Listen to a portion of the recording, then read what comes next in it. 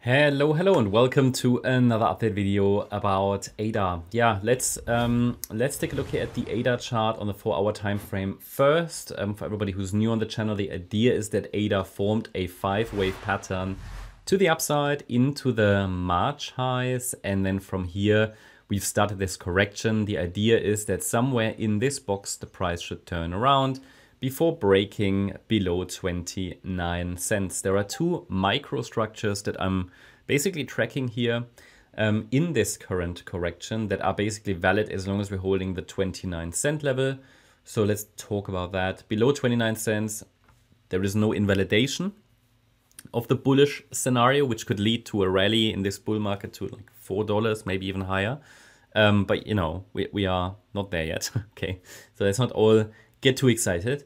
The idea is that in this wave 2 we shouldn't break below 29 cents. Doesn't mean we can't, but we shouldn't.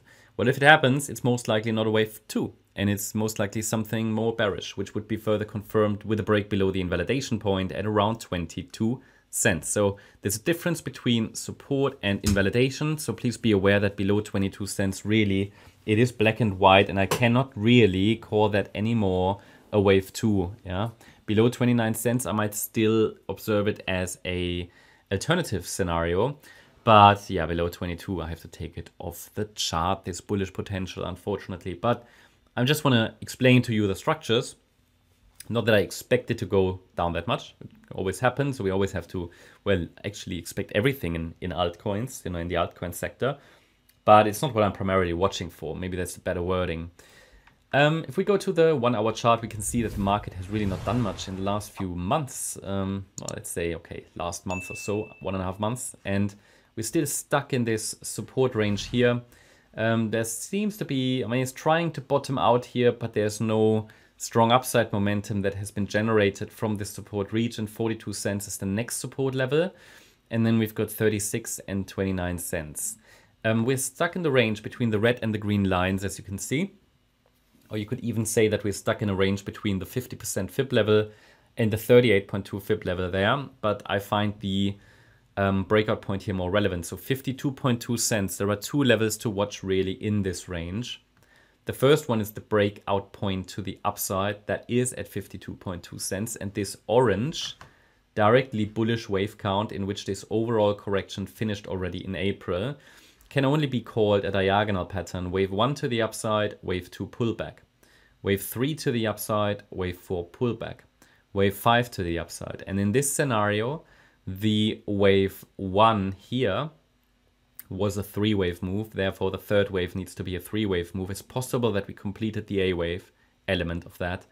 B wave possibly as well, but I um, have no indication that the C wave has started to the upside. Um, the wave 5 should also be an ABC structure. And 5 waves should reach 64.5 cents, ideally. 3 waves should reach 60.5 cents, ideally. Okay, if we don't even get to 60 cents, 60.5 in the third wave, it's likely something more bearish. And it takes a break above 52.2 cents for an initial breakout indication, right? And to make the orange count more likely. Until then, the white scenario is also something to observe for one more low. Um, if that happens, targeting 36 to 38 cents is likely. And one more low should take the price down that much. Yes, absolutely. Um, but it takes initially a break below 43.6 cents. That's just sort of a, a micro support region I'm watching. So ideally, if there is a an upside reaction, it would form from here. Doesn't have to. It's unreliable because we're dealing with corrections but still just want to show you some fibs.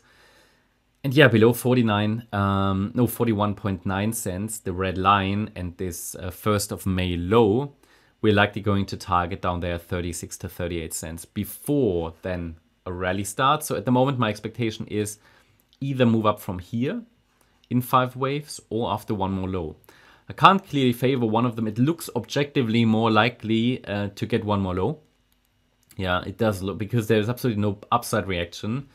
But I'm very careful saying that because we've seen it so many times. I can only tell you that, like, objectively looking at it, one more low is very likely. Okay, and that could be that this is an Elliott wave triangle. Okay, it might just need another E wave high, and this E wave um, would basically be a corrective rally, and it should stay below that 52.2 cent level. Actually, it should stay below the 21st of one, uh, 21st of May high here 51 cents. Yeah? Then we have an E wave corrective rally before it really breaks down. This is possible, uh, yeah, but um, again, it it's it needs to follow through. You know, it always needs to confirm it, and it would confirm that with a break below 41.9 cents. So there is no, in summary, there is no reliable bottoming confirmation. I wanted to give you a quick reminder of all the relevant levels here, but the upside potential is still very much there.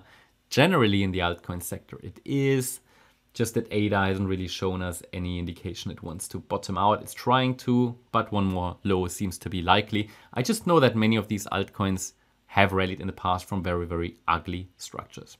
That's my update about ADA. Hope you liked the update. If you did, please hit the like button, leave a comment and subscribe. And if you really like the content, then please check out the channel membership. Also make sure that you follow us on Instagram and Twitter for additional content. Thanks a lot for watching. Bye bye.